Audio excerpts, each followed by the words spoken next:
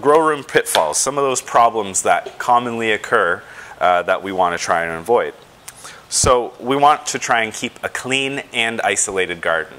So I have my grow tent here. I don't want to put it over by the front door because you know more chance of bugs getting on it uh, from from that, that door there. Maybe I want to put it in a back room and keep that, that door closed all the time. I won't let my pets over there because they're carrying uh, pests, whether it be some powdery mildew spores from outside or some spider mites, thrips, anything could be on that, that pet that's been outside.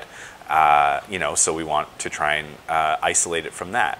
If I'm forcing air into my tent to try and keep it cool. I don't want to take air right directly from outside and force it into the tent.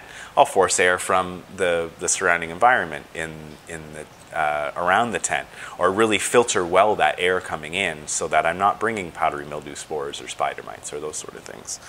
Um, as well, keeping a clean garden. If I've got a lot of leaf litter, because older leaves will die and fall off, if you're not cleaning those up and making sure they're they're put in the in the dustbin, they're going to be a perfect home for different bugs and different uh, mold spores to kind of live and reinfect the plants. Um, so we want to keep it clean and isolated.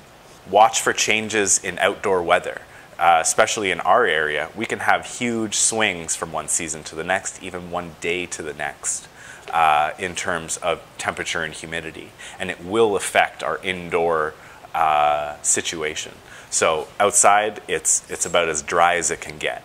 Uh, maybe not today, but when it's really cold, there's no water in the air. And as air is brought into the home, the home gets really dry, and that could be stressful for the plants. Finding ways to try and raise your humidity, uh, you know, before the plants show stress, uh, because you're checking it, can be a good thing. Same with you know the high humidity in the summertime.